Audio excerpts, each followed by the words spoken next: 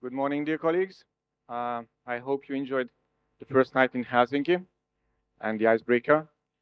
We indeed uh, had a nice welcome yesterday in the City Hall, for which we are really grateful. And since we are already in a delay, I would like to invite Sanna Hellström, CEO of Helsinki Zoo, uh, on the stage.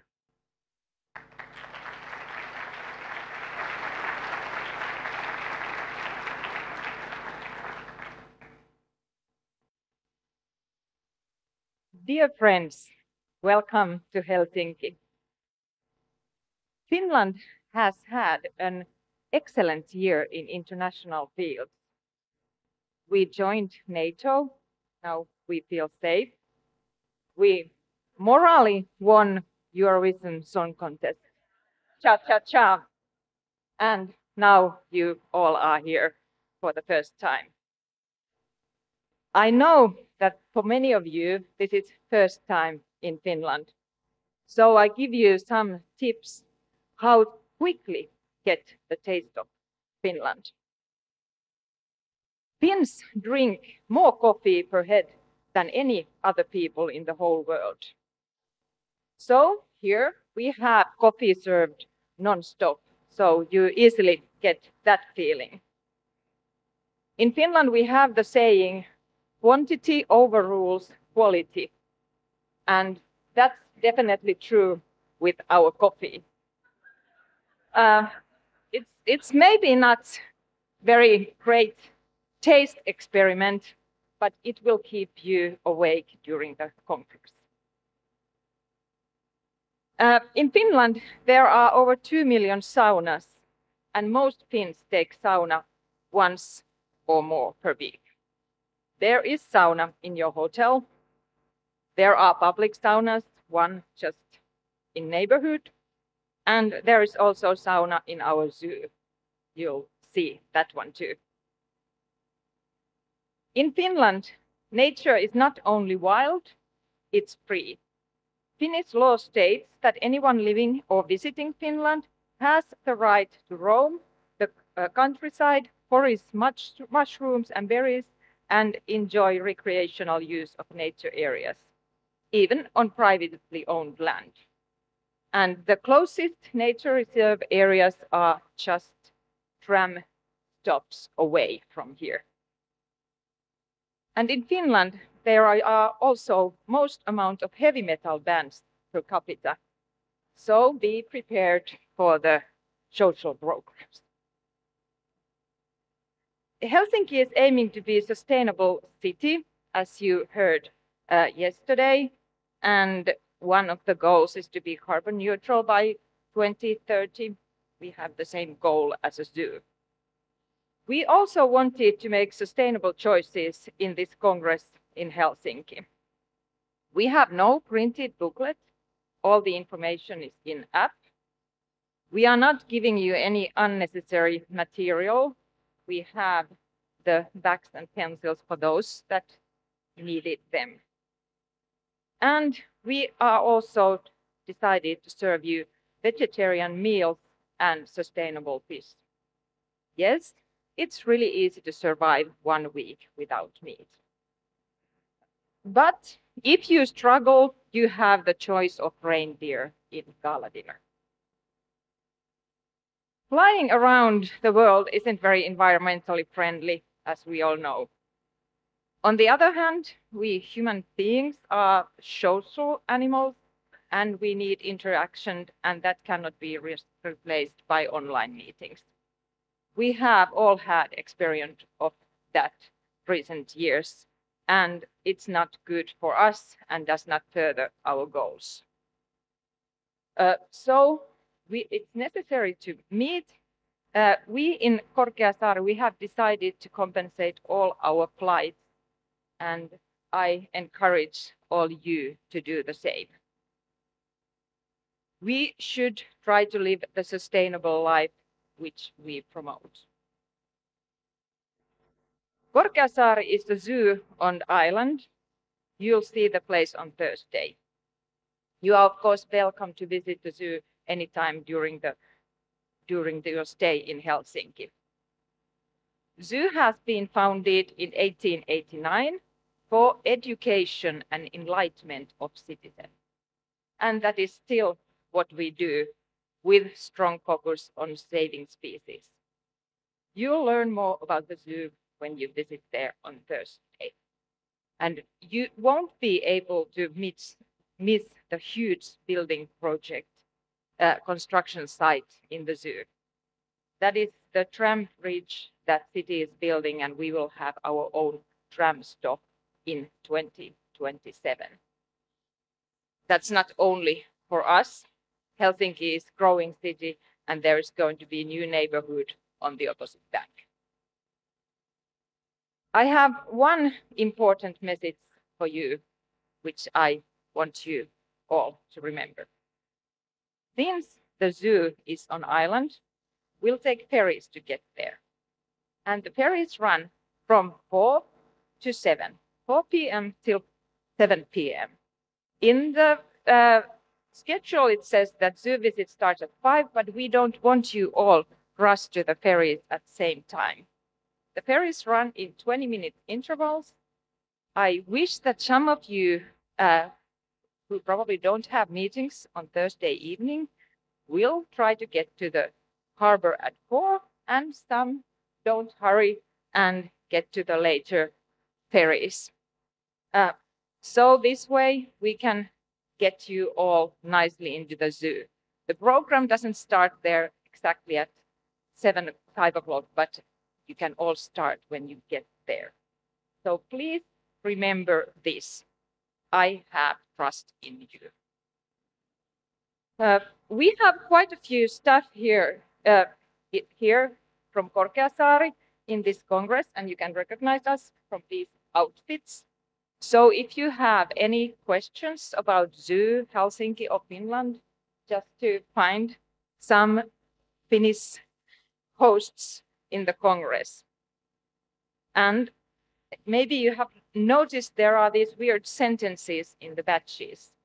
So there are Finnish sayings. So if you don't understand what it means, also try to find some Finnish person to explain it for you.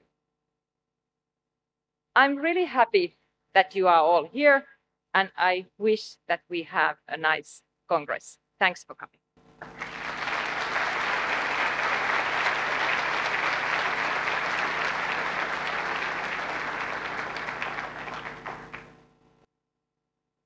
Thank you, Sanna.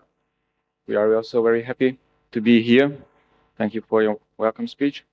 Um, I learned a lot. I like the song and the heavy metal bands the most. But I know that you, you have a lot to teach us about your beautiful country, city, and your achievements. So therefore, I would like to invite uh, Honorable Pekka Haavisto, Finnish politician of the Green League, uh, to the stage.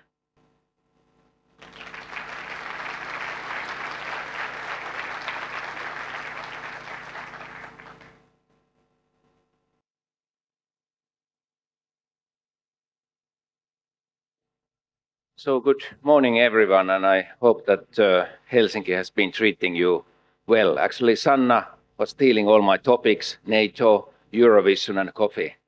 So uh, there's nothing left than to speak about animals. Um, when I was coming this morning to this conference, I was thinking the saddest zoo I have ever been. And actually, I easily remembered it because it was Kabul, Afghanistan, and it was spring 2002. Originally, this zoo was built in 1967 by the progressive king Zahir Shah, and the Kabul Zoo was that time intended to be a window into the flora and fauna of Afghanistan. But the civil war and Taliban regime had destroyed also the zoo. Nobody paid attention to the welfare of animals, and several animals had escaped, while a large number of them were killed in shelling and crossfire. I haven't been visiting Kabul lately, but I understand that the rebuilding of the zoo has been taken place. But this sad story just reminds us what wars and conflicts cause not only to us human beings, but also to animals. Ladies and gentlemen, this conference is on to something significant.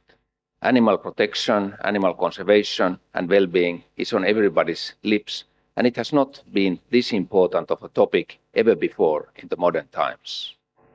Biodiversity is critical in maintaining the ecological balance, which we are threatening with overconsumption and expanding human action everywhere. New land use plans are also destroying natural environment. In nature, everything is interlinked. All fauna, flora, fungi, and other beings in the same ecosystem need one another in different ways. And the point here is that if we lose a species from the world, if a species goes extinct, we cannot get it back. It's gone forever.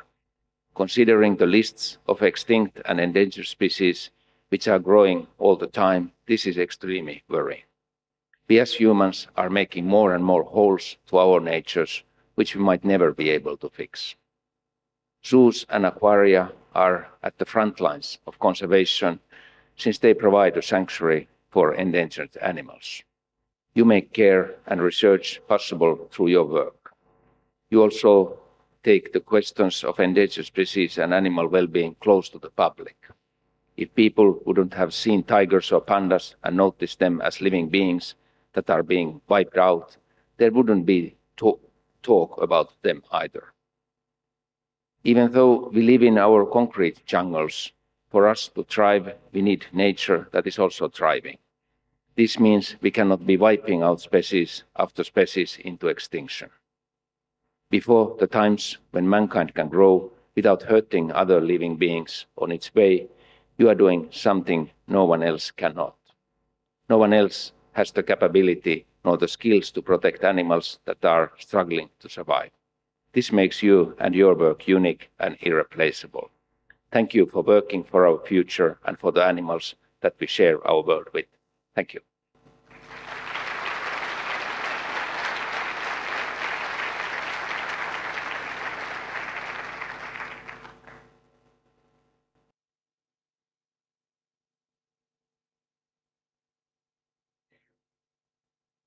You very much. Um, thank you very much for the, the welcome speech. Um, this highlighted for me how important uh, is that we can be here as a community and save this community spirit and uh, uh, do all our activities in a collaborative approach. Thank you very much. Uh, next, we have a pre-recorded uh, welcome speech from Sirpa Pietikäinen, Finnish politician and member of the European Parliament. Please welcome speech.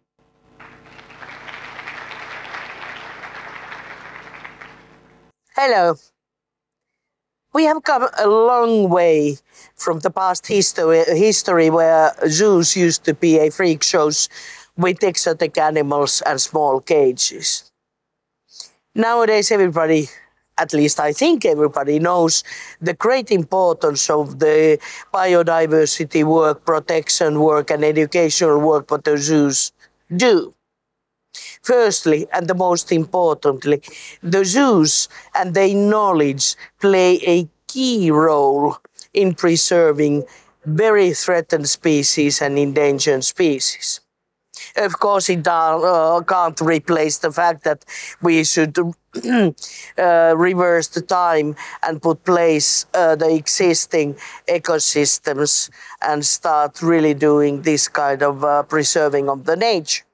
But then when the situation is very acute, actually it is only the zoos who can uh, save the small amount of the animal and species for the future, for the better days to, to come when we can appreciate the biodiversity and rewild the, the nature. The second is, of course, educational.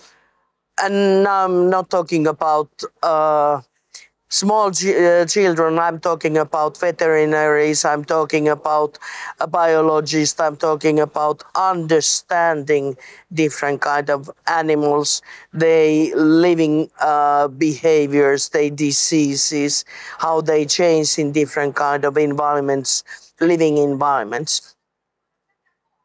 And the third is of course the educational of course, all of us think that uh, it's nice to go to a zoo to see exotic animals and very lovely pets, and even if you're very lucky to try to touch some of them. But the most important part of the education is to sensitize people for the fact that animals are sentient beings and they have the right for the planet as well as we humans do. To sensitize us for the fact how we are destroying the living habitats of animals and to activate us on preserving the nature and rewildering them and treating all the animal with humble and humble, graceful uh, appreciation as a partners sharing the same planet. I wish all the best on your work. See you in zoos and maybe somewhere else. And uh, all the best uh, for the Congress.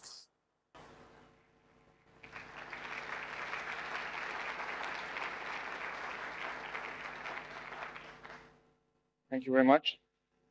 And after all these welcoming words, it is my great privilege to officially welcome you and open the 2023 annual meeting of the European Association of Zoos and Aquaria. Dear Sanna, dear Honorable Pekka Haavisto, thank you for the welcoming us uh, in the most functional and happiest city of the world. I hope, dear colleagues, that you have already had a chance to have a sip of the positive vibe of the city. This is certainly the best scene to celebrate our achievements. Challenge the status quo and take another big leap in our progressing with a community of more than 430 members in 47 countries all over the world. Look at these numbers 40, 430 zoos, aquariums, national associations, and corporate members with thousands of expert colleagues driven by the same idea. Defining and demonstrating excellence in species conservation through transparent and collaborative approach. What a strength lies in this alliance. The EAZA Alliance are its people and their dedication. Over the past three decades, many fantastic personalities have contributed to the EAZA growth. Sadly, one of the one of them has recently passed away. Lars Lunding Andersen, Director Emeritus of Copenhagen Zoo. Lars will be remembered for his immense dedication to EAZA and many key moments in the history of, of the association. He served on EAZA Council for 16 years. In March 1995, he proposed the development of a new EAZA Committee on Exhibit Design and Education and chaired this committee until 24, so 2004, developing the first set of EAZA education standards, joint education conferences, and laying the groundwork for EAZA Academy. He also led EAZA activities, being a strong champion for increasing lobby, capacity and the EAZA accreditation program. He was very deserving of the EAZA Lifetime Achieving Award that was given in 2011, and I'm sure will be remembered by all from his legacy, his influence. Please join me paying a tribute uh, to Lars Lunding Andersen. And sadly, our thoughts also go to the family and colleagues of the keeper who lost her life in a tragic incident with a white rhino in Salzburg yesterday.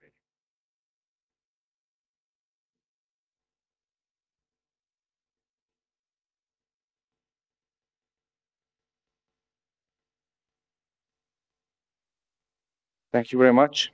And now, dear colleagues, let me introduce a work which is an excellent presentation, How Strong Are We as an Alliance.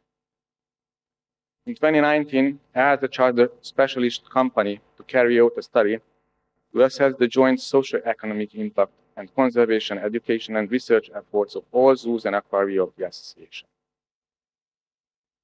These data they derived represented representative of 2019 shows that those EAZA members jointly generated 3,003 million euros of value added into the economy. This includes household income, tax revenues, and company profits and savings. Those EAZA zoos and aquariums experience some 144 million visits annually, with approximately 25 million visits from abroad, bringing additional value to support the region and the local community. Around 65% of all EAZA members are in urban environment, highlighting the importance that, uh, of the opportunity to connect to nature for the increasing numbers of people living in urban environments. Each individual member participated on average in 10 in situ conservation projects, with some reaching as high as 52 projects. Of the population of about 500 million in the European Union, about 1% was reached with formal education activities on top of the informal education that was experienced during the 144 million visits. An interactive dashboard will be made available to members whereby they can see all the summary data for all EAZA members by region and by country. We are really proud of the impact of the members, appreciate the cooperation in the finalization of the study, and kindly offer this information together with the figures of the conservation database to aid informed decisions and discussions with various stakeholders. I also wish, wish to express my greatest gratitude to, to the individuals, EAZA members, and other organizations who have made more than 11,000 donations, raising about 2 million euros in the EAZA Ukraine Zoos Emergency Fund. Our special thanks goes to colleagues in other continents who are supporting the fund. I think about the numerous WAZA member zoos, aquariums, and I would like to extend my special thanks to the zoo community in Australasia. Asia. A few weeks ago, the Zoo and Aquarium Association organized a successful fundraiser whose proceeds will go to our fund and thus to the zoos in Ukraine that need our con continued support. We see that the war is steadily continuing. EAZA encourages our members to pick a day or week in November for their own fundraiser. Possible activities could range from bake sale to dinner with the director, let your creativity take over. An information pack with data and visuals provided by our Ukrainian colleagues will be shared for us for use as part of the Your fundraiser. I sincerely hope it is not an overstatement to, stay, to say that this year's conference is unusual in that our conversations are no longer overshadowed by the COVID pandemic. And the, uh, that the, this season has also brought relief to the majority of our members from budgetary point of view. When the pandemic hit us, the association had adequate reserves, so much so that for a while we were able to ease the burden of the membership fees and compensate for the resulting shortfall. But the energy crisis related extra expenses that followed and the filling of the significant back backlog required intervention sooner than expected in terms of both workforce and income. I sincerely thank the members for their advance confidence, agreeing the gradual membership fee increase that was approved by the last AGM to be enacted from 2024. This will stabilize as finances and enable support across all our activities towards achieving our strategic ambitions. While some activities have been scaled back in the past three years, the work in the governance and the management of the association is accelerating. And the duties related to extraordinary events, such like membership issues and crisis communication, seem to become ordinary items in the everyday work. This has already been anticipated uh, before the crisis, and the external review of the office structure was endorsed by the executive committee in 2020. The reorganization and stepwise growth of the executive offices in progress, leading to a fully realized new organization structure from 2025 onwards. Parallel with this process, the decision-making and information flow between the governing and the managing bodies is also under review. And proposals aiming more balanced engagement, better defining defined roles in the board, and sharing of workload and responsibilities is going to be discussed by the Council before the end of this year. This work also aims to investigate new structures that could aid the involvement of our diverse membership and senior leaders in different phases of the decision making and explore the enhancement of skills and expertise beyond the traditional zoological domains. This framework shall secure the healthy growth, future-proof structures, and continuing transparency in our democratic governance. I would like to take this opportunity to thank the office staff uh, for their hard work and pragmatism as they strive to overcome the vicious circle of lockdowns, traffic challenges, and pressure to revitalize the operative work in the past years. The same way, I'm really thankful for all those constructive, constructive criticism and support I and we received in the past years from our members. These are very important building blocks of the work we are shaping for the upcoming Council meeting. We can be proud of our steady progress and increasing impact in the EU stakeholder consultations, various discussions at CITES, and leading on IUCN motions. Proven by the benchmarking against other organizations, we are leading brand in animal welfare accreditation and science-based management of zoos and aquariums. In order to strengthen our position and credibility in the highest forums of lobby and advocacy, we must have a strong frame of standards and policies. Various documents and proposals under development, such as the updates to the animal acquisition and disposition policy, the standards for accommodation and care, and the accreditation cycle, tabled in the upcoming council and AGM to help EAZA keep moving forward towards the strategic goals. The development of these documents is driven by the ambitions of the members laid down in our vision and mission and in the 2021 to 2025 EAZA strategy. Our ambitions have never vanished, not even during the recent crisis, although one must always consider that a strong association can only be built with strong members or resilience and real strength come on the one hand from the community spirit, the delicate network of professionals, knowledge sharing, and trust in each other. We must save this embedded in our deeper structures, building bridges in every direction within and beyond the association. All the developments shall follow supportive attitude and demonstrate that the guidance is available for everyone anytime as needed. On the other hand, resilience as members can be greatly enhanced by utilizing the highest possible variety of progressive knowledge and tools offered by our excellent community. Dear colleagues, we live in an accelerating world. The paradigm change also in the evolution of the zoos and aquariums is advancing. We should look at the challenges as an opportunity, use the power of the association as a lifeline, and never miss a chance to save the momentum that we gained.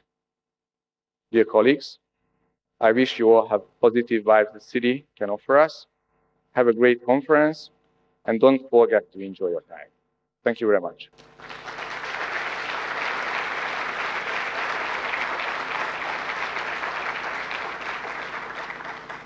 And now, let me invite uh, Mr. Griffith, Executive Director of the Association, and give summary of the other.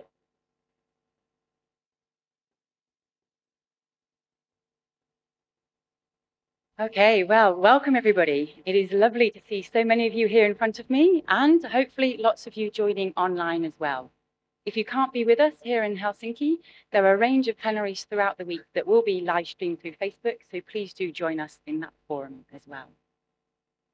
Now, those of you who've seen me present before will know that I like to start my presentations with maybe some data, a quiz, or an interesting visual. And so for this, our first time in Finland, I wanted to think about what could I do? And of course, I went to our good friend Google, although actually I didn't need to do that. I just needed to listen to our previous presenters today to know that Finland is one of the happiest countries in the world, regularly ranked up there. And we've already had lots of fun and enjoyment so far. There is this amazing nature and the northern lights. And of course, the love of coffee and a good sauna. Did I pick any of those as our analogy to our EAZA work? No, I went with a bucket. Now, any of you that might have been with the EAZA a few years might remember a Korkeasaari Zoo colleague a few years ago presenting about their citizen conservation work attacking the invasive alien slugs. And what they were looking to do was engage the local communities to collect these slugs out of nature, protect the native biodiversity. But funnily enough, the citizens around Helsinki were less than enthused about collecting slugs from nature and bringing them to the zoo. That was until our amazing colleagues tapped into the Finnish love of buckets. They realized that a Finnish person loves nothing better than a free bucket. So what they did for their conservation work is they provided free buckets. And lo and behold, the slugs rolled in. Buckets and buckets and buckets of slugs, these invasive alien slugs, came into the zoo. So this, for me, more than anything else, the love of a bucket represents the Finnish people for me. And how do we link from buckets to EAZA? Well, actually, this is where I feel the EAZA strategy is like a good bucket. Many of us here in the room are or have been a zookeeper or an aquarist, and we know the value of a good bucket. It needs to be big enough to carry everything we need to get to where we're going. But we've all had that really like clunky bucket that's too big. It like bangs against your leg, it slows you down, and it tips things everywhere. That's the bucket that we don't want. We want to be that valuable bucket that keeps us going. And this is definitely how I view our strategy as a really important element to keep us focused, to keep us going in the right direction altogether.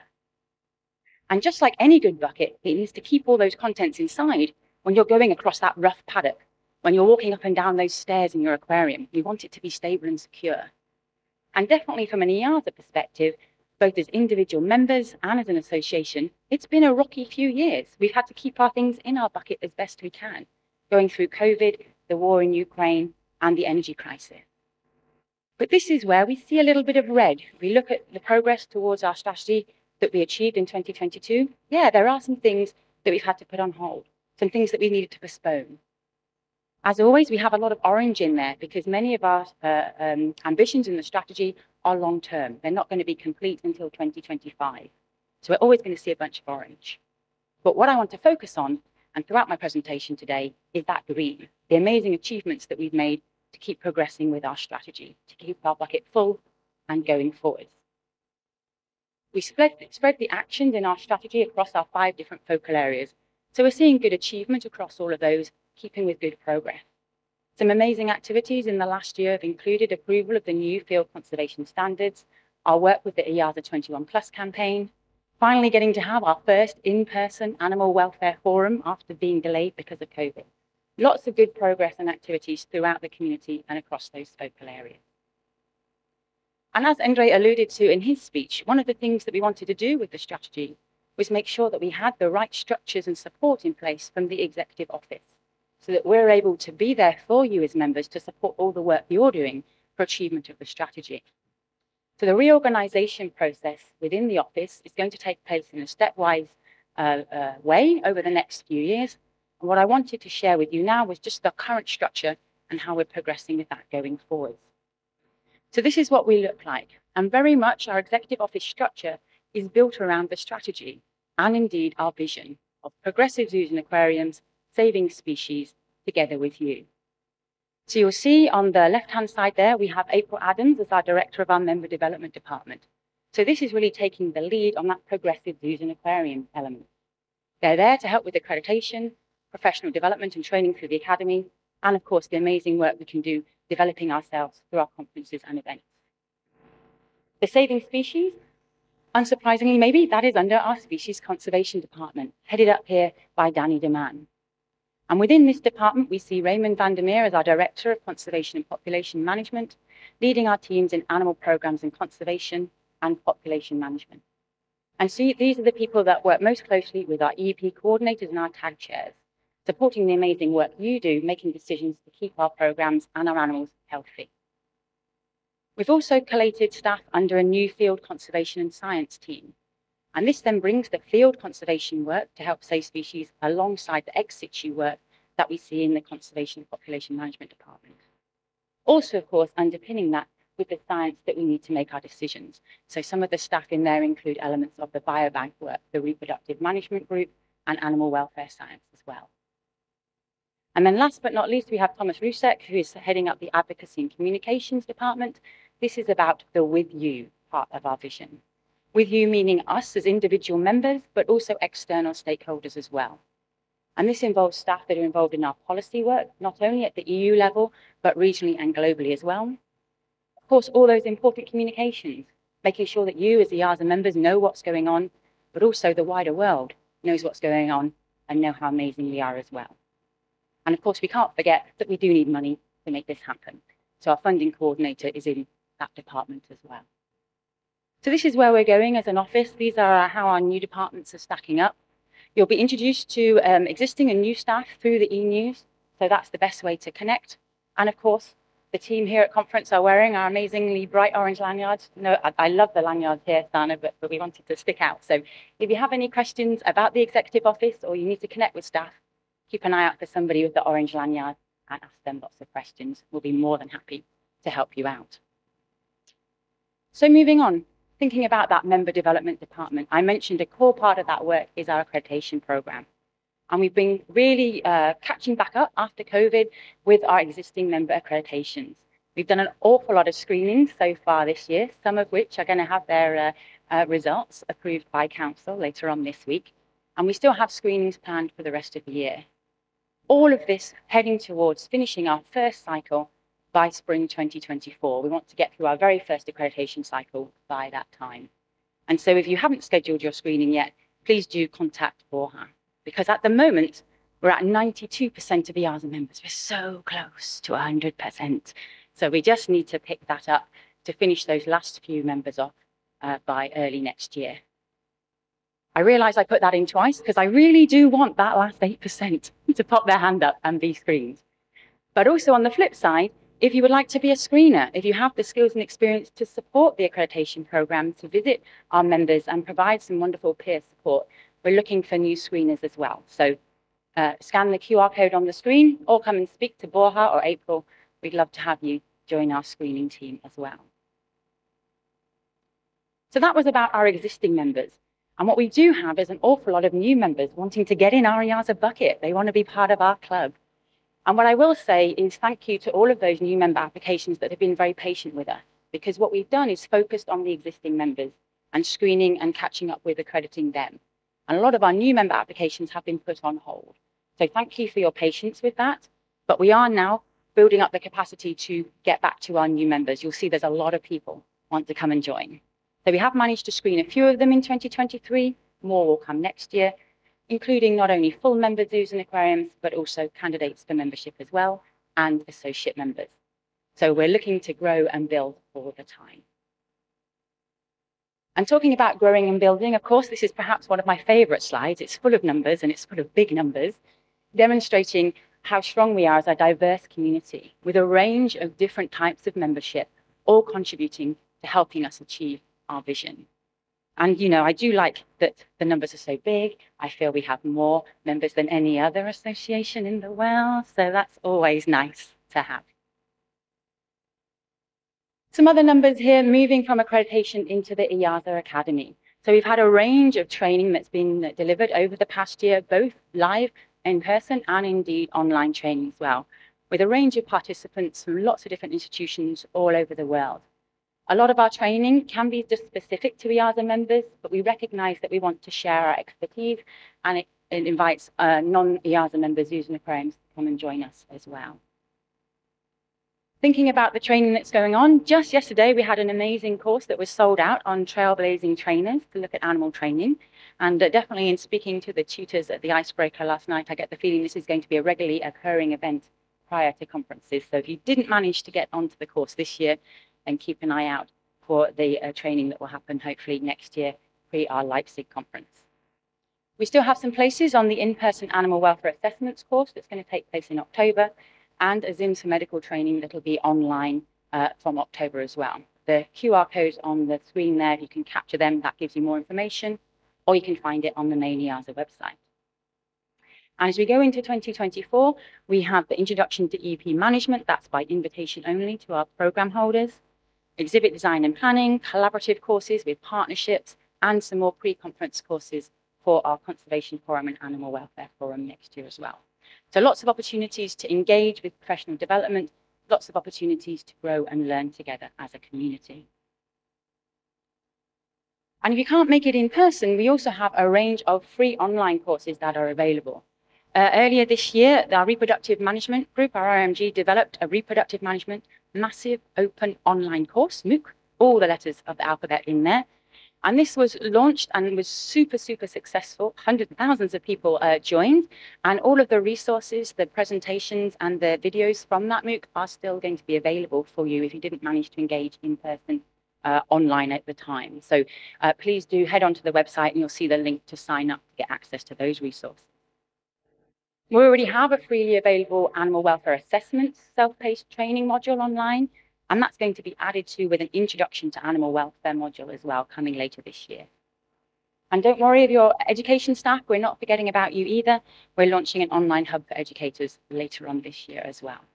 So whether it's in person or online, lots of wonderful opportunities to engage. Moving on now to spend a bit of time talking about activities under our different focal areas. So we have our first one here in terms of leading in aquarium and animal management and care, doing aquarium animal management and care. And so a lot of this work focuses around our population management programs and support for the species that we're privileged to care for. And I'm really, really pleased and proud to see so many EAZA best practice guidelines that are being published. Not only supporting ourselves as EAZA members make sure that we have the latest specialist knowledge to care for our animals, but we make these publicly available as well. So any zoo or aquarium can also access this valuable information. And we can just see the range of expertise and species diversity covered by these best practice guidelines, really highlighting that we are the experts in caring for animals, irrespective of what species or taxa they may be involved in. But it's not just species best practice guidelines we have. We also have some subject ones. And I'm really excited to share that we have animal training guidelines that are available as well, really giving some good solid um, support and guidance help us manage the animals in our care. When we think about managing uh, healthy animals in healthy populations, that really starts with our regional collection plans, our RCP process. And the element here is that the different taxonomy advisory groups have their regional collection plan, and we identify which species we feel like we can support within our um, zoos and aquariums, and more importantly, why which what are the roles and the goals for the programs underneath each of these uh, taxon advisory groups. The regional collection plans are developed with EAZA colleagues, but also external stakeholders as well, making sure that we're getting the latest information from all possible avenues. You can find the approved ones in the member area on the EAZA website, and they'll be added to by new ones where we've had workshops that have either been held in 2022 or 23 those species RCPs will become available soon once we finalize the content. And this really acts as a guide to why we should be keeping different animals in our zoos and aquariums. It's the first step of that process. Then the next step is to say, okay, these are the ones that we're looking to have new style EEPs for. And we're up to 291 EEPs so far. Again, a really good range of species coming out of those RCPs when we're looking to have our EAZA ex situ programs for these individuals.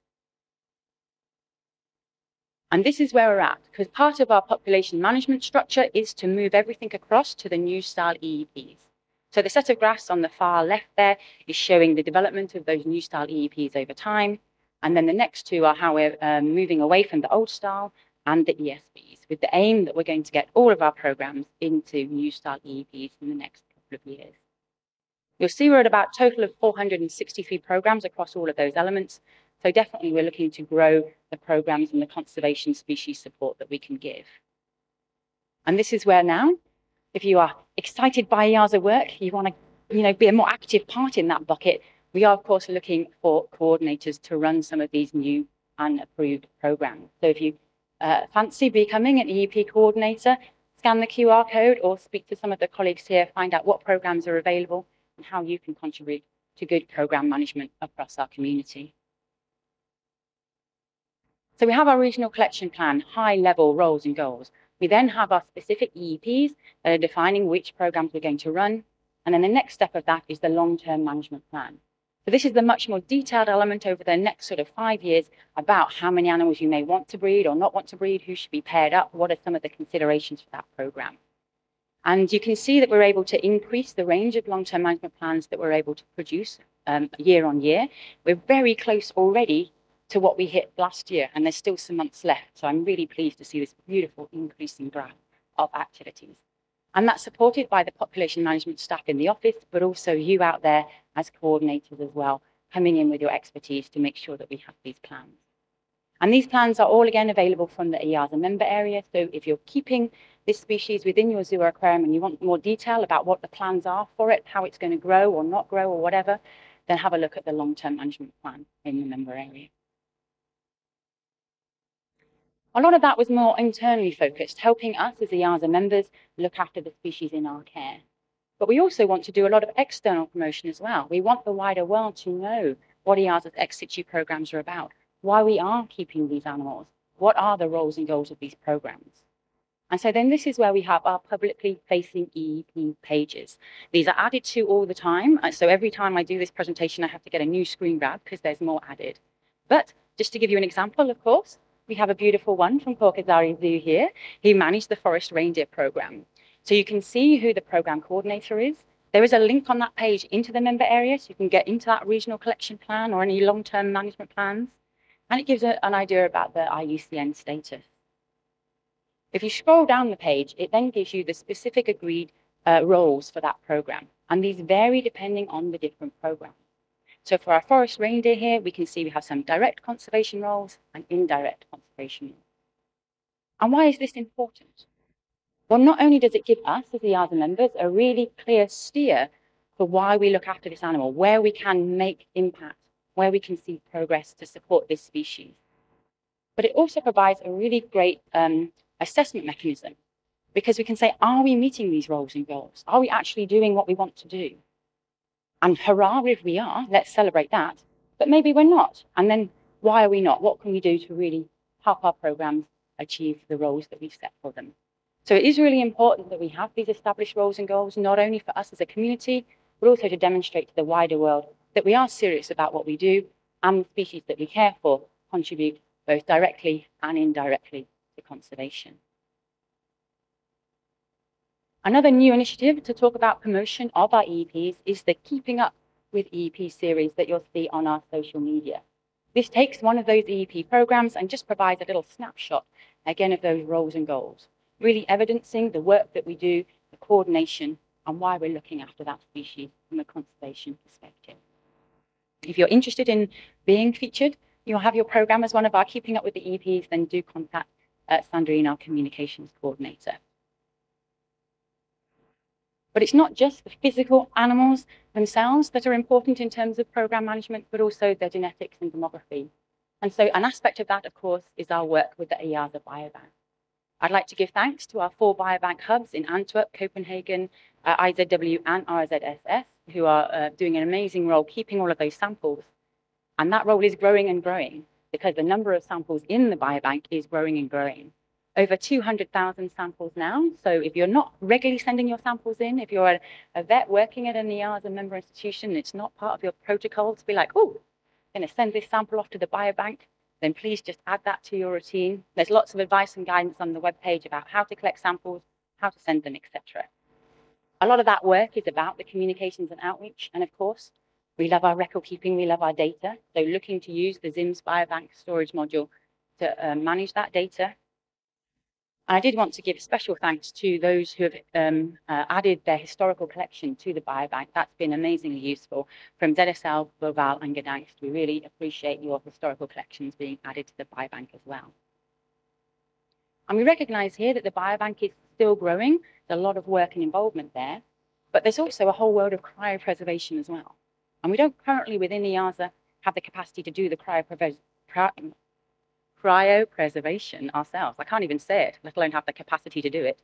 Um, and this is where we then work with partners so that we are linking up with the cryopreservation network so that we're able to have both um, biobanking and cryopreservation joined together so that we have the fullest sort of security net there possible when it comes to genetic material. And some of that, of course, involves forging global connections as well, not just concentrating only within our European and Western Asia community, but globally too. I'm going to move now on to our next focal area about maximizing our conservation impact and engagement. And this then is my annual pledge request to add data to the conservation database. Uh, we really uh, value uh, evidence of all the conservation work that you're all involved in. In particular, this year, we of course always encourage you to add your data, but specifically if you're doing work on European species and that's not added to the database yet, please do add it. If you only get the opportunity to add one piece of conservation work to the project, then prioritize the European species work. Not only because we're in Europe and we have a special responsibility to European species, but also there's an awful lot of European biodiversity legislation happening at the moment and the more we can evidence how we can support that legislation, how we can help local and regional governments meet these conservation targets through our existing work, the better and stronger we can position ourselves as a valuable stakeholder in those conversations. And if you want to get into conservation work or you're looking for partnerships within conservation work, then I recommend you go to the conservation database map. You can search this to find out what's going on by year or member or species or continent. And then depending on what you want to work with, I maybe have a slight, mm, not so secret passion for pigs, in addition to buckets. I do like a good pig. And so this is where my example will be. I look up the pigs and peccaries. What kind of pig and peccary conservation projects are we involved in? And what I'm super pleased as is I did an update on this. There's four more projects in the database since last year, just on pigs alone. Yes. So I would really encourage you to add your data to the conservation database um, it enables us to make infographics like this. So this is where we were with the data added from the 2021 work. Do you think our requests to add data have made a difference? Have you been hard at work adding your data to the conservation database? I want to see more nods, head in, heads nodding around the room. Yeah, so fantastic. When we look at what we've done in terms of adding the data, data to the database for 2022 work, we've massively increased the amount of uh, evidence from staff hours and funding way more members have been adding their data. Thank you so much. We've gone from 400 species to 600, over 600 species evidence of conservation work being carried out. And we see that uh, those activities sort of changing some of the areas of uh, species support, a lot more multi-species support coming through now. We have more work in the database and also evidencing that our work takes place across the whole world. Yes, we have a focus on European species, but we're active in all uh, continents across the world as well. So thank you for those who've added your data. There's a few members still to add data. I'm very much hoping next year when I stand here and give you the 2023 data, well, just think about how big the numbers will be then. We can also track this data over time. Um, this is a, sort of a five-year span. You can see we had that little dip in both um, funding, but not so much staff hours. We kind of committed the staff, but we didn't have as much spare money in 2020-21 in terms of our COVID impacts. And we're slowly bringing our uh, um, contributions back up to those pre-COVID levels. So again, I can't wait till we have next year to look at how this graph is increasing. And this sort of infographics is invaluable not only for uh, the executive office staff when we're looking to deal with our policy work and speak to politicians on your behalf, but they're there for you to use as well. If you want to talk to your local ministers, to um, your stakeholders, your board about why you're part of EAZA and how you're able to contribute as a conservation community, these infographics are super valuable in being able to do that. And I mentioned already a lot of biodiversity legislation that's coming through. There's a lot of changes there and a lot of opportunities for us as zoos and aquariums to evidence the work we're doing and how we can be supporting achievement of these biodiversity targets. A lot of that work has been going on through our EAZA 21 Plus campaign, and you can find out more about how that campaign has been going, what the activities and resources available are in the plenary later on this week. And also I have a sneak peek of the next campaign. I can tell you it's going to be amazing. And if you want to know how amazing, you're going to need to come to that conservation plenary and find out more. This then brings you on to our next focal area about representing our community. A lot of this work focuses on our lobbying activities, both globally and indeed locally. Just after the annual conference last year, a number of colleagues from the executive office and amongst the membership went out to the CITES COP19. Uh, there was a lot of opportunity here to expand our capacity, and that's part of our strategy. And it's great to see increasing opportunities for EAZA to share our expertise within this forum. We're particularly focusing on lots of different things, but ideally on um, songbirds coming out of our Silent Forest campaign. And so not only will we be able to provide expertise to help decision making and listing of songbirds, but also having a side event as well to really demonstrate our work and our availability to help support effective CITES decision making. Not soon after the CITES COP, there was the Convention on Biological Diversity COP, and coming out of this CBD COP was the um, Kunming Montreal Global Biodiversity Framework. Lots of big words there. But basically, this is setting a bunch of conservation related targets, biodiversity related targets that are going to trickle down through to regional and national governments in terms of legislation and opportunities to conserve biodiversity. And again, this is an amazing opportunity for us and our community to demonstrate our expertise and support for achieving these biodiversity targets. And again, not just focusing on uh, sort of the animals themselves, but also their genetics, we were able, through our increased capacity, to help co-sponsor a side event on genetic diversity. So really representing EAZA's expertise and our ideals within these global forums. At a local level, I, I don't know whether I really want to talk about the joy of Brexit and, uh, and animal transfers, but we are seeing slow and steady improvement. I know from speaking to many of you, it is difficult to move animals between the UK and the EU and back and forth. But absolutely, thank you to everybody that is persisting with that, that is sharing their uh, examples of transfer certificates and their experiences. Obviously, a lot of uh, close work with BIAZA and members um, directly involved, but also with other associations such as VDZ and AFBPZ to think about transfer routes. And indeed, our amazing records keeping working group has been invaluable in sharing examples of records to help us keep this steady improvement going. So I encourage you not to lose heart keep trying to send those animals, keep working to achieve the program roles and goals that we have, and we will get there together. We've also had a lot of work continuing to do with animal health, and much of this has been in conjunction with EAZWV. We've had a joint position statement on the veterinary medicines cascade and how that can be applied to uh, zoo and aquarium animals to help keep us uh, um, those animals healthy and with availability to veterinary medicines that are going to support their welfare. We're working also together on a uh, position statement in relation to bird flu vaccinations and harmonisation of attitudes and opportunities to access that type of vaccination as well. We're nearly there with our handbook on the animal health law in zoos. That'll be published later this year. This handbook is going to tell you everything you need to know about the new animal health law and how to apply it in your zoo and aquarium. But it's not just for you, it's for your member state authorities as well that are applying this health law to your organisations. So definitely this is aimed at you as members, but also please do share it with your state vets because it's going to help them assess you as well. And as we're growing and we're increasing our capacity, I also mentioned within this department we have an element of funding. So we've applied for an Erasmus Plus grant, an EU grant, to help us develop a European zoo health education program. We're going to find out sometime this month if we've been successful or not. And if we are, we'll be rolling out a wonderful program of training as well to do with European Zoo Health. And last but not least, within this area of uh, lobbying and policy work, we're seeing the EU reviewing their animal welfare policy element. A lot of this is to do with like the welfare of animals that are fed out as food. And for many of us, we rely on uh, chicks as food items for a number of animals within our zoos and aquariums.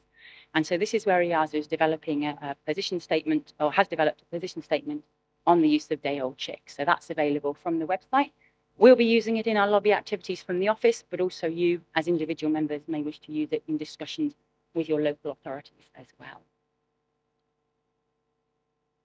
That brings me on also within this area, we have the with you part of our vision and our partnerships.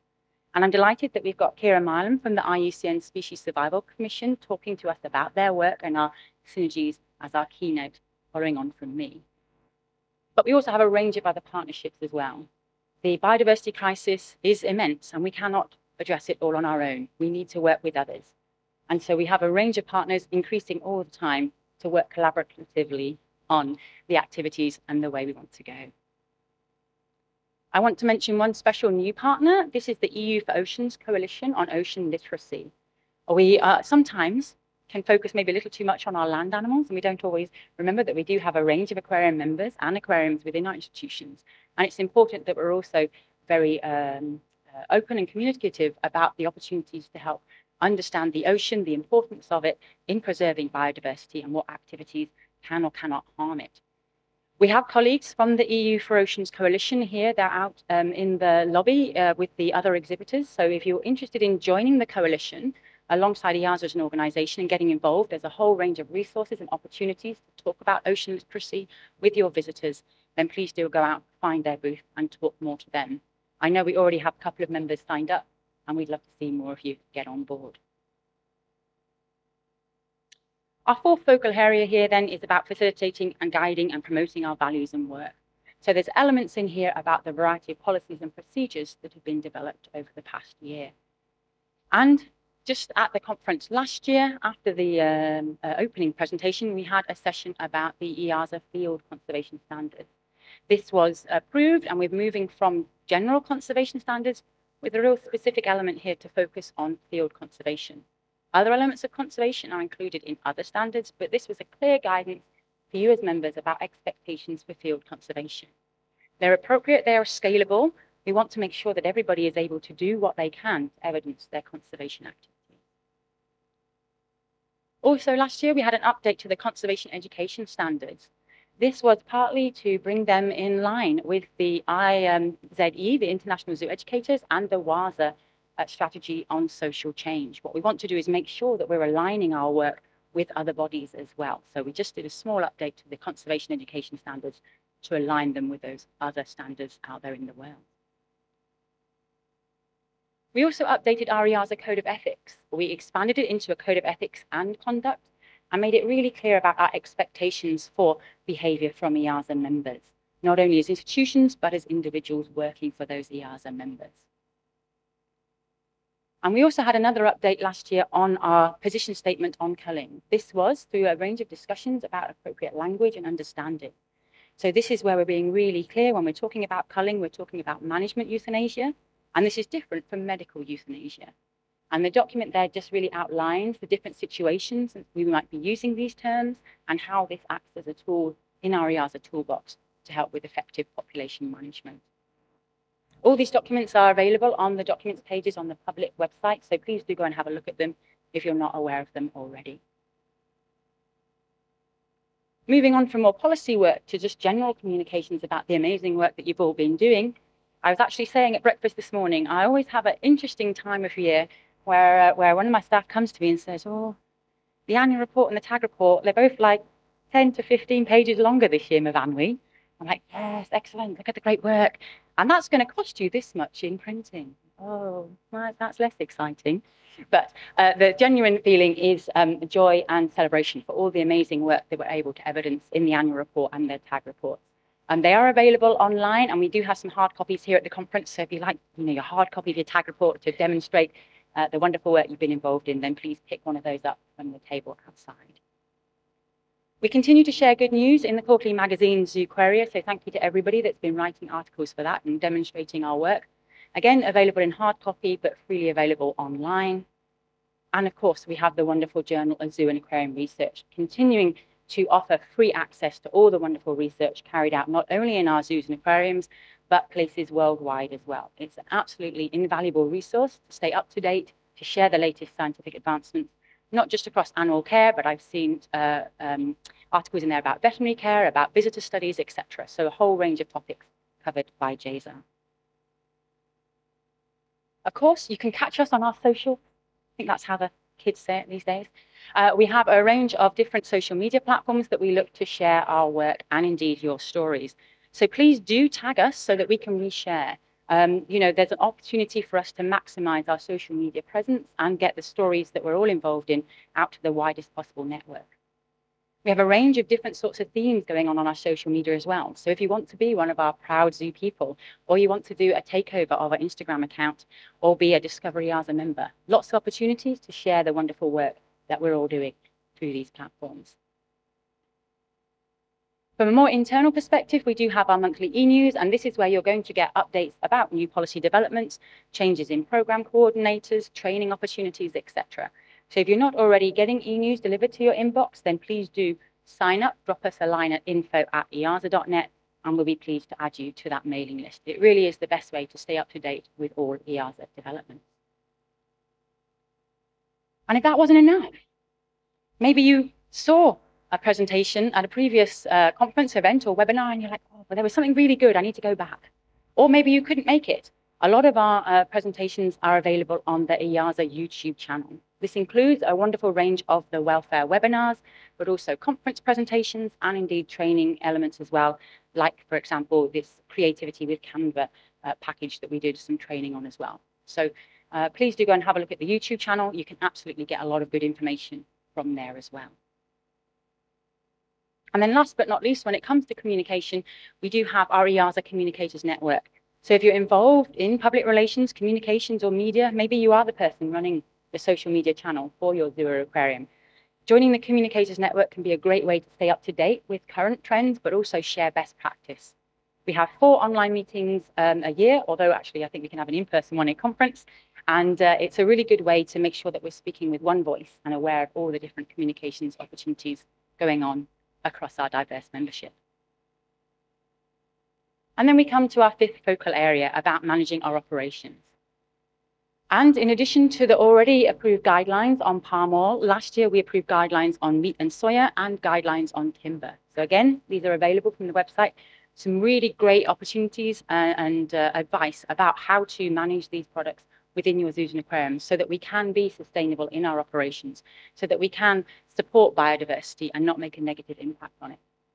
There's a wonderful article in uh, the last Zooquaria um, about these different guidelines with some great infographics with lovely ideas as well. So if you can't quite face reading the full guideline document, you can read the nice article in Zooquaria as well. We also approved last year EAZA guidelines on managing operations to reduce your environmental footprint. So these are uh, around managing waste or managing water or uh, having a green team within your organization. Lots of lovely practical advice for how you as an EAZA member can continue to improve your sustainable operations to minimize your environmental footprint and really, you know, support biodiversity that we're all working towards.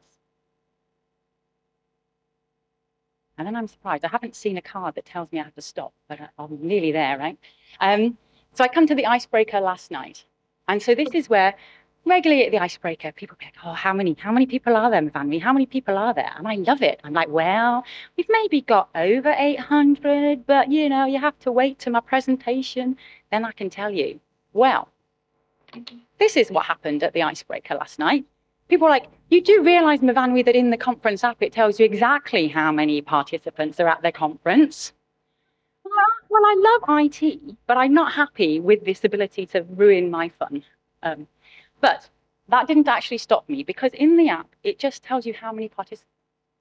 And those of you that know me know I love a spreadsheet, a little bit of a data geek. So I was like, well, there's more information I can mine. I can go into that spreadsheet of participants that we have in the office and say, not just 887 people, but all these happy faces are from 342 institutions across 70 countries.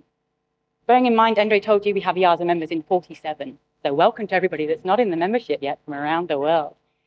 But, you know, this is the kind of data that I love and indeed the kind of pictures that I love. This is why we're a strong community.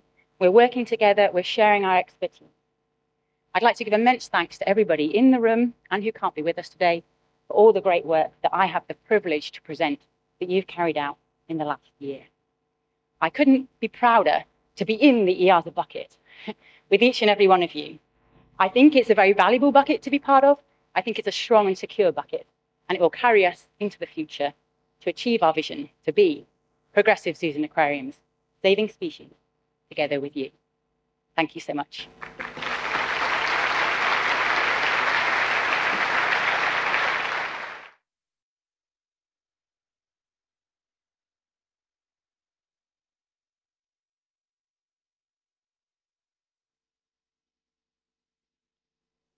Dear colleagues, dear Myfanwy, thank you very much for this excellent and really visual presentation as always uh, about the state of affairs. It is indeed uh, a great association with huge numbers of members, with uh, huge plans, huge ambitions, and uh, great achievements, as we see, even in one year. And uh, if we look at this immense work uh, as a pyramid, with all the great foundation of our work with the animals, communication, the education. Probably it is uh, not an overstatement that the peak of this pyramid should be the great advocacy, lobby work, and the external partnerships. As such, we are very proud to have Kira Mileham, Director of IUCN SSC Strategic Partnership here uh, in our community today. Uh, I want uh, her lines, but we are very excited because we have just strengthened, reinforced our ongoing partnership with them. Kira, I just hand over. The stage is yours.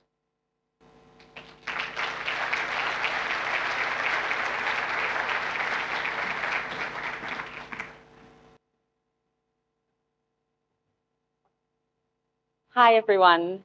It's such an honor and a privilege to be here with you. And I'm deeply regretting that I'm not as funny as my European colleagues, so I apologize in advance. You'll have to find ways to laugh at me instead. Um, but I want to begin by really, by really acknowledging the incredible expertise and work that sits here in this room, and by starting by saying thank you.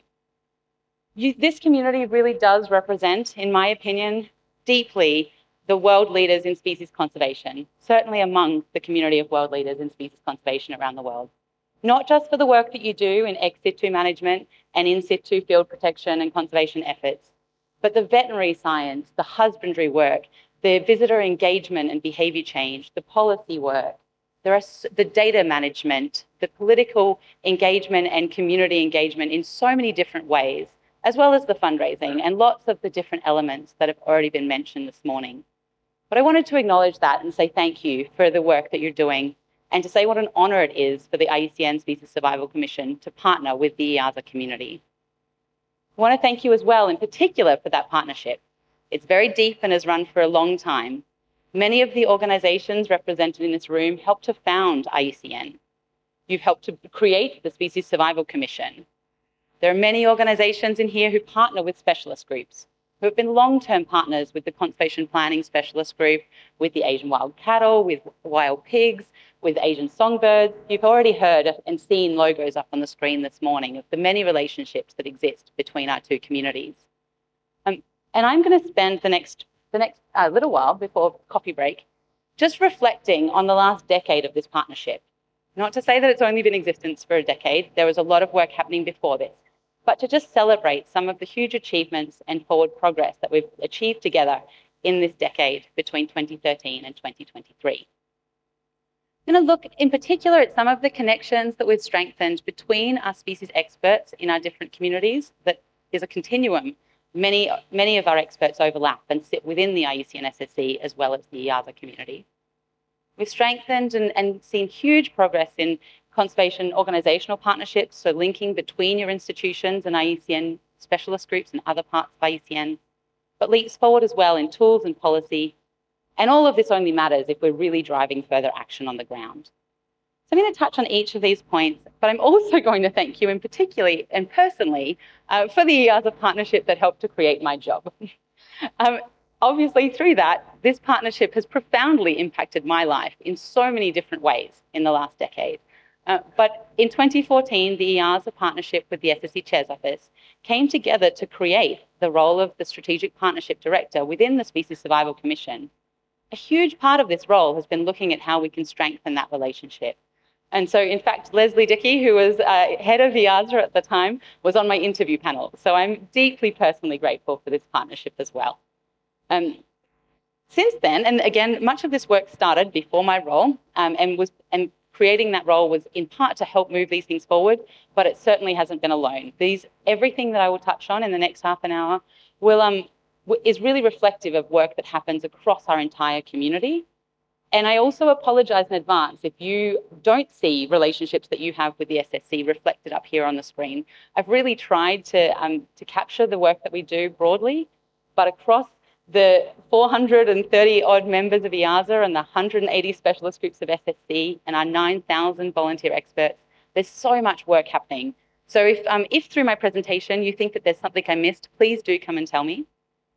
But I wanted to start by looking at the work that our two, our EAZA and SSC have done in building bridges between our species experts.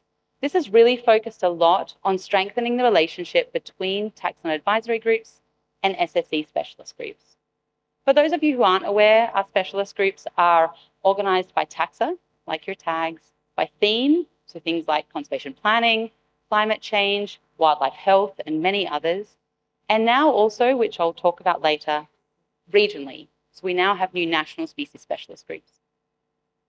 And there's been lots of work done to try and strengthen the relationship, in particular between our thematic but also our taxonomic specialist groups and your tags. There's huge overlap in the work that we do.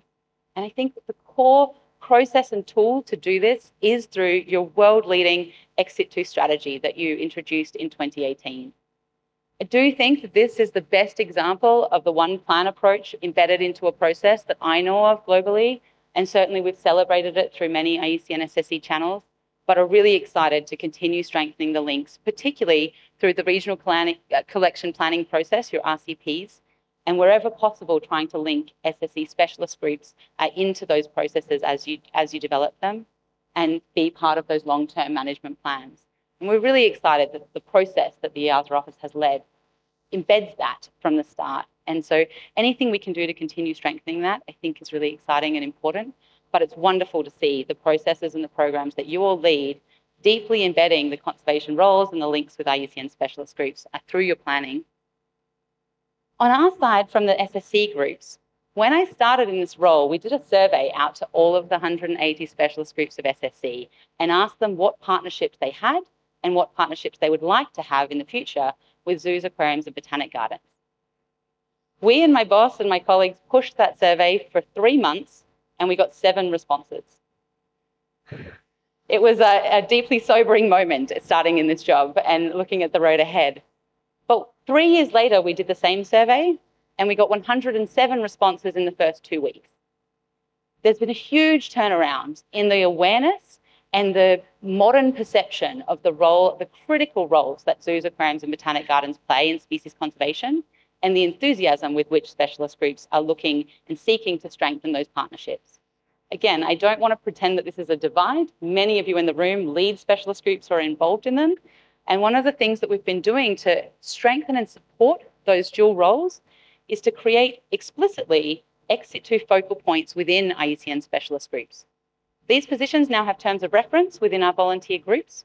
And we ask, I'll mention some of the roles of those groups in, that um, focal point in a second, but we now have just shy of 70% of specialist groups have created an ex situ focal point position and are creating whole working groups around the role of ex situ and in situ, a one plan approach within their species conservation planning. We hope that this will hit 100% by the end of this quadrennium, so by 2025, and we've got a big push at the moment to make that happen. I also want to acknowledge the really great role that the Joint Tag Chairs meeting plays.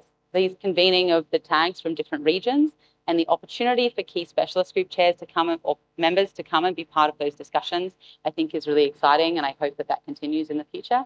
And I'm really grateful for the role that EAZA and WAZA and AZA play in convening those meetings.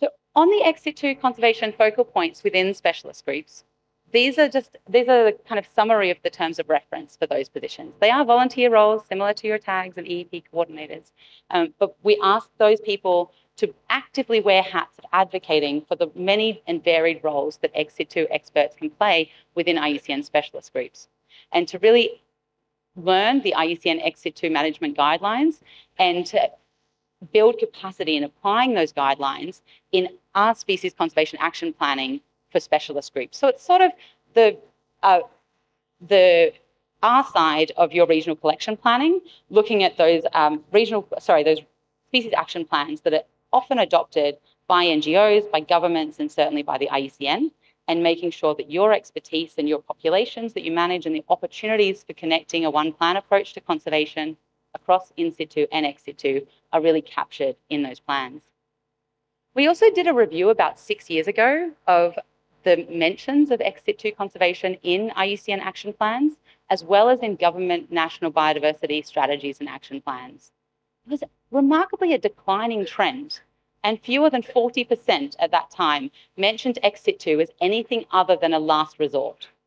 So many of us sitting in the room might think that this is, this is something that we only had to deal with a few decades ago, and surely this is more integrated by now. It is certainly something that still needs a lot of work and a lot of awareness raising for the opportunities to connect ex situ and in situ more effectively to drive species conservation priorities. These roles also play a really important, um, important job in helping to communicate and and collaborate and drive collaborations between organisations. And uh, I've actually just been reminded that the reason I picked a vole for this slide is, is because Andre from Alpenzoo has just last week been appointed as the ex situ conservation focal point for the small mammal specialist group. So again, this is something that we're continually trying uh, to, to strengthen these relationships and these connections with your community. When I started in this role, it was quite overwhelming trying to figure out how to link all of the many programs that you have, that your AZA colleagues have, that your Zoo and Aquarium um, Australasia colleagues have, with all of the IUCN SSC specialist groups. I'm really grateful that we've been able to set up just in the last two years a new partnership with the Indianapolis Zoo, who has become what we call the Global Center for Species Survival. This team in particular work as a basically an extension of the SSC Chair's Office team, working with all of the taxonomic specialist groups within our remit to try and uh, strengthen priorities across assessment, planning, and action for species conservation, but also helping to build these kinds of relationships. So in particular, if you're leading a, a, TAG or an EEP program and you're having trouble getting hold of an IUCN SSC specialist group, then please do reach out to this team. You'll see that we have a mammal coordinator, freshwater, plants and fungi. We have birds and invertebrates. We're currently recruiting for a replacement amphibian coordinator and a marine coordinator. And these individuals have really strong relationships with all of the specialist groups and can help facilitate those partnerships and discussions as well. So we've really grown our ability to uh, act as a dating agency between you and specialist groups where needed. On that point, we also continue to expand, similarly to you. Um, we continue to have new taxonomic and thematic specialist groups. If you want to know more about the process for proposing new groups, if you work on a species that you think needs more global cooperation, that you want to see mm. elevated within the international stage, and to bring the experts for a particular taxa together or theme to do with conservation, then please get in touch with us. We're more than happy to, to talk you through the process of proposing a new specialist group. But these are some of the ones that have been created in the last few years. You see things like behavior change task force, which is relevant to lots of the work that many of you do, and a big push you might notice for invertebrates. We're really trying to in, increase the uh, invertebrate representation in our network at the moment. And fungi as well. One that I just realized is not on here is our new fungi conservation committee, which calls themselves the FUN-CC. So uh, if you're if you're working on fungi conservation, which is the often the forgotten kingdoms of conservation, then please come and talk to us. We uh, just partnered with Leonardo DiCaprio as well for a campaign around mycologically inclusive language. So if you're talking about diversity and inclusion in your workplaces, ours looks like doing more to raise the profile of fungi.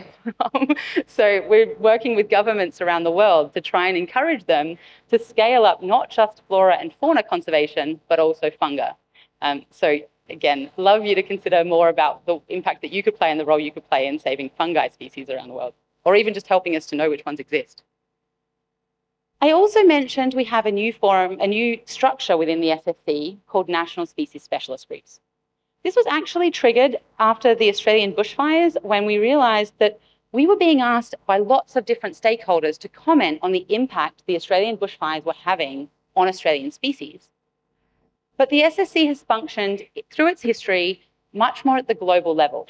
We bring together the global experts on amphibians or on cacti or on parasites. Um, but we, we really haven't played much of a role in convening multi-taxa experts at the national level.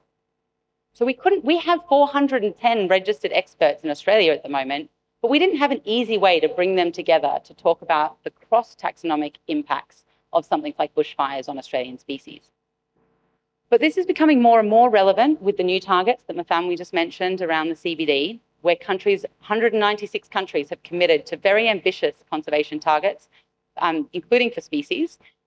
And we really want to enhance our ability to work more at the national level in support of national players like yourself, but also in support of government agencies, helping to achieve our species conservation targets together. So to do that, we've created a new structure. We don't create the specialist groups, we create the structure, and then we work with communities and experts to propose specialist groups where they make sense in those countries. And so this only opened as a new structure six months ago. And so far we have specialist groups in these countries. Just to pick one example, which may not surprise anyone here, the China Species Specialist Group started less than six months ago and it currently has 350 members working across 15 different working groups. They have a massive partnership with the government of China and are able to work in local languages and so are able to also provide a forum for Chinese species experts who haven't been able to engage in English speaking forums to come in and work enormously in a coordinated way using IUCN international tools, but driving forward species conservation priorities in China. You'll notice through my slide, I have quite a few of these exclamation points. There are, if you pay attention to nothing else that I say, those exclamation points are opportunities for you to think about, in particular, how this might, um, how you might be able to take away some of this into your institution. And one of them here is that we don't have any national species specialist groups in Europe yet, and that's okay. There's lots of functions and structures and lots of government agencies and national bodies functioning in Europe, so maybe a national species specialist group isn't necessary. But it is something for you to think about. If you think that there's um, a value to convening the, the species experts in your country under an IUCN specialist group, then please come and talk to me. I'm more than happy to send you any of the information about that or talk to you more about the kinds of roles and functions these groups can play. Or certainly if you're doing conservation abroad, a great opportunity is to connect with these specialist groups uh, who, who all have relationships with government agencies and many of the conservation players in the country uh, if you don't already I'm going to change gears for a minute now and talk about some of the organizational partnerships. Again, we've heard about a few of them already this morning, but there's been a really fantastic history of many of you partnering. I already mentioned with the Conservation Planning Specialist Group. Copenhagen has long been, Copenhagen Zoo has long been a regional resource centre for CPSG.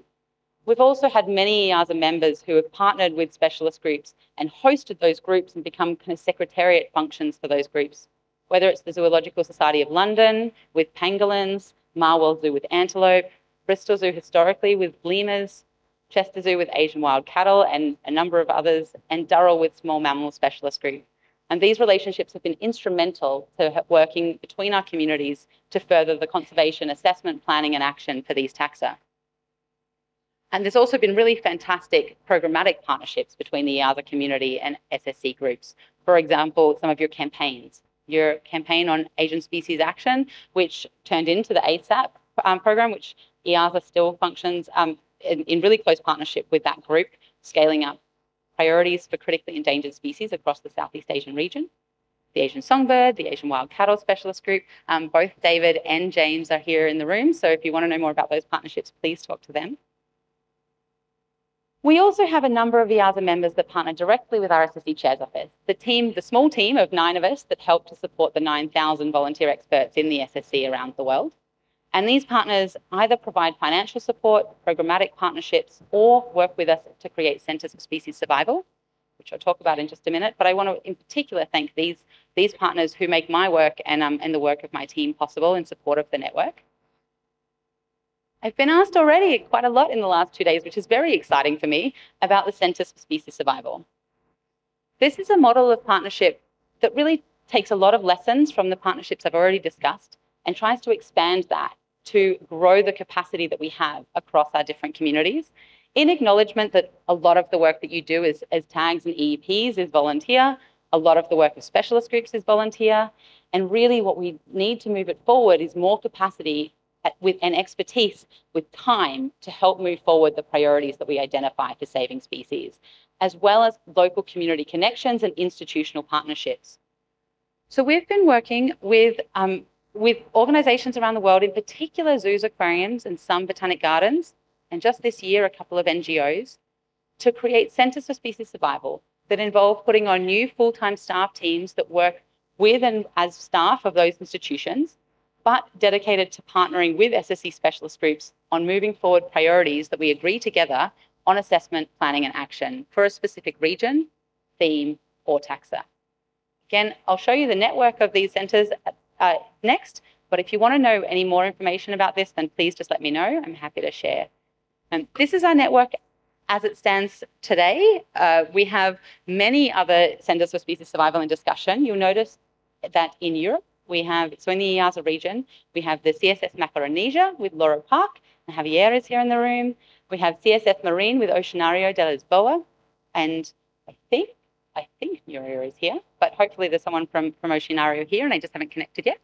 Uh, CSS Ireland with Dublin Zoo is a new Centre for Species Survival, and Christoph is fist pumping over there, and Andrew, so please talk to them.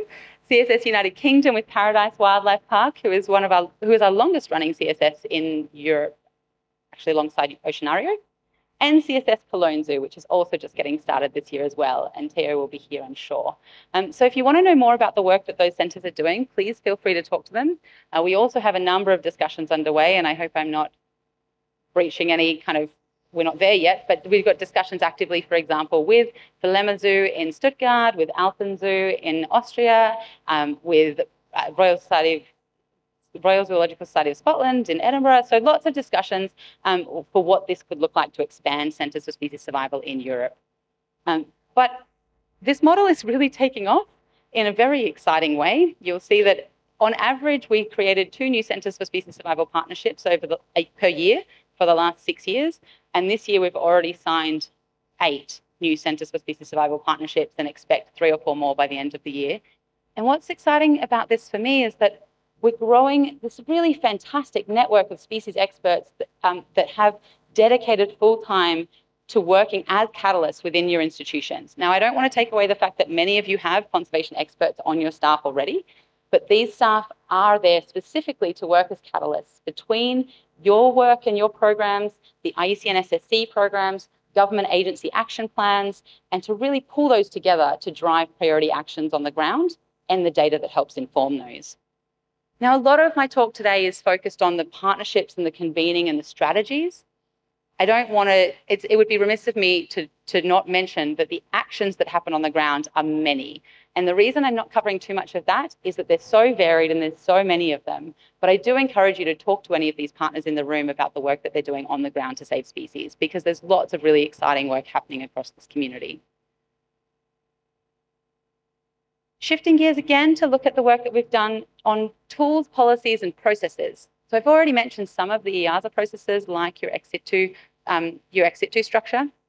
The EAZA office and community and IUCN members within EAZA have been really fantastic in being active in IUCN motions, elections, and key votes on topics like human behaviour change, wildlife trafficking, the One Plan approach. It's really fantastic to see the power of this community represented in IUCN forums like the World Conservation Congress, where 1,300 government and NGO members come together to decide on the conservation priorities for the world and you represent an enormous voting bloc and a very powerful community in that forum. And EAZA has done a fantastic job at helping to raise awareness when those votes are happening, to help participate in those processes. And so I really encourage you, if you're an IUCN member in particular, or if you just want to engage with the EAZA, the EAZA office on those processes through their membership, then please do. It's really exciting to see you being a really visible, valued part of those discussions. We also uh, gave a little bit of support to the EU Zoos Directive when that was going through. There's really great expertise that's contributed and or led uh, IUCN tools from within the EAZA community. The Zoological Society of London was one of the founders of the IUCN Red List and still sits on the governance committee. Many EAZA members contribute to IUCN Red List assessments. Um, Copenhagen, so Kristin Leus uh, led the IUCN SSC guidelines on the use of ex situ management for species conservation. You endorse as a community and use the translocation guidelines of the IUCN SSC. And Durrell played a really key role in developing the green status to look as an additional measure to the red list, but looking specifically on measuring species recovery and prioritizing species recovery efforts. So there's so much expertise between our communities that we're really trying to foster and, and to grow. Um, on that point of participating in IUCN forums and discussions, We've been trying for some time now to really raise awareness of um, and recognition and value of the role of zoos, aquariums, and botanic gardens within the IUCN community. One element of that is trying to increase the access of you all to become IUCN members. And to date, it's been really quite cost prohibitive. The membership fee for IUCN is calculated on operational budgets. Obviously, running your facilities means you all have much larger operational budgets than your traditional conservation NGO. So we've been trying to raise awareness with this with the IUCN Council now for three years, which has been a really great opportunity for us to talk about the incredible work you all do and how important it is to have you more strongly represented in IUCN membership. As a result of this, because of our bylaws, the council has agreed to try and push forward a, a reduction in dues structure and the way that we calculate dues for venue-based organisations. primarily driven by trying to encourage more participation and, and access for zoos aquariums and botanic gardens. However, because of our bylaws, this has to go to a vote to all of the 1,500 member organisations of IUCN.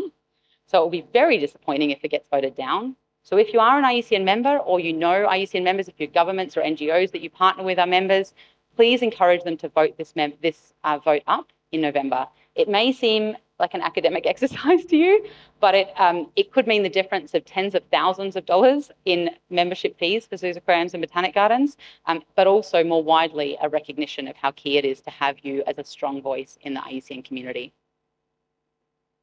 And on that same note, back in the 60s, a precursor to WAZA requested from IUCN a position statement outlining the role of zoos aquariums and botanic gardens in species conservation.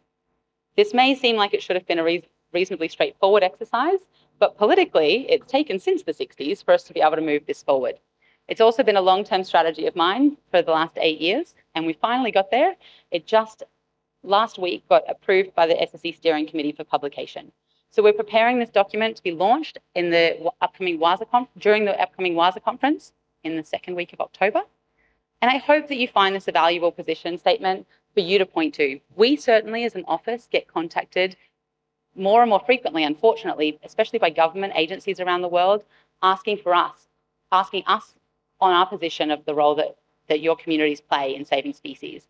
And we really wanted a robust statement that not only acknowledges the many and varied and critical roles you play in saving species, but actively encourages government agencies and NGOs to be more respectful of this role and to work in a more coordinated and collaborative fashion with your communities. So these are the three objectives of the document. To highlight and celebrate the many roles that you play, to urge zoos, aquariums, and botanic gardens around the world if they're not fulfilling their conservation potential to do so, and to encourage the conservation species community to work in a more collaborative and integrated fashion.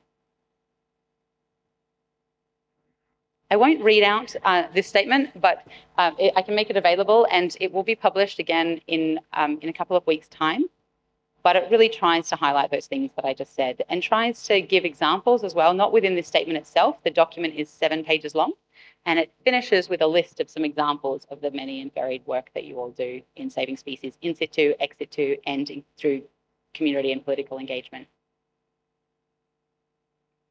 We would love your support in launching this document. It's in traditional IUCN fashion, it's a, quite a dry document that reads like a policy document.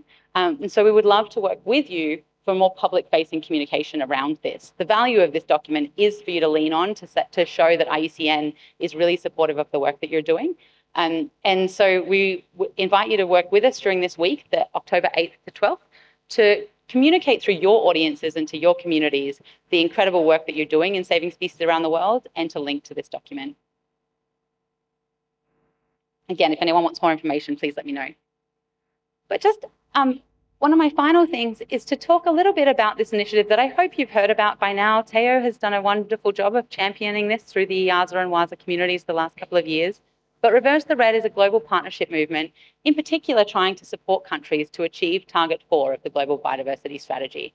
And we see such an enormous role uh, that you're all already playing in this, but for us to do more together. And it really feeds nicely off of the work of your EAZA 21 Plus campaign that's been running the last couple of years, really, uh, these are a couple of opportunities for you to think about what Reverse the Red could mean to you. WAZA is releasing a short guide for, um, for zoos, and aquariums in October, which will be really helpful for you to check out. But in particular, what we're asking you to do is to look at your country, if you're not already, and get a deep understanding of the baselines and progress that your government agencies are using to measure and drive forward extinction risk reduction and species recovery.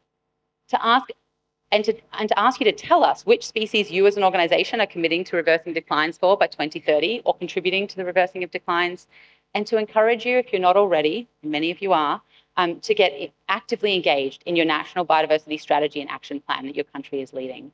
There's funding here, there's legislative weight here, and, the, and these is, this is the forum in which we can bring together our work to save species collaboratively and in a united and strategic way. We also ask you if you do have species success stories, which I know all of you do, to share them with us um, and to change the narrative in saving species from being one of doom and gloom to one of hope and optimism. And on that, Um, we're having the World Species Congress in May 15, 2024. It's an online 24 hour event. It's designed as a 24 hour event to work with key regions all around the world to showcase what's happening, what are the leading practices in national biodiversity action plans, what are leading zoos, aquariums, and botanic gardens and NGOs doing to reverse declines in saving, to reverse declines in species, and what are the tools and strategies that we can all use to this, this decade actually meet our targets for reversing species declines. If you want to know more information about the World Species Congress, come and talk to me or, um, or use this QR code and it, it will take you to a web page that will give you more information.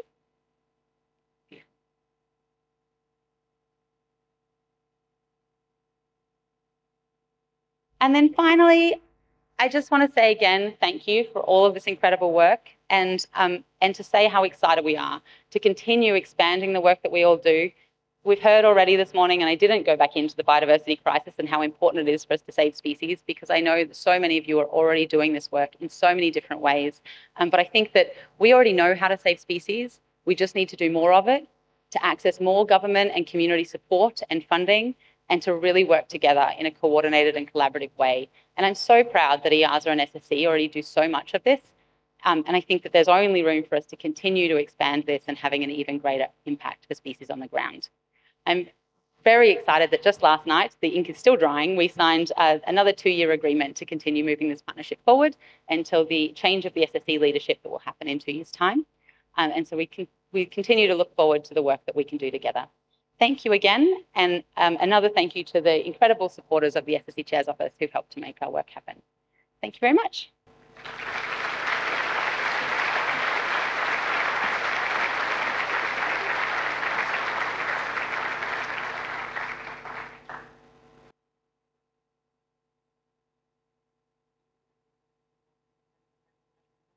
Thank you very much. Thank you, Kira. We do also really appreciate uh, the work with you. And as such, um, I'm closing the first session. Uh, thank you for your attention. Thanks for the for all the presentations. And uh, I extend my thanks to the corporate members as well. Uh, we don't want to burden you uh, with special housekeeping notes. We have an excellent smart application. Uh, you can see everything on, on the application. Um, nothing left just for you to enjoy the coffee break. And then encourage everyone to visit the, the corporate member stands and uh, the uh, research posters. And uh, let's enjoy the incredible amount uh, of the world-renowned Finnish coffee. Thank you very much.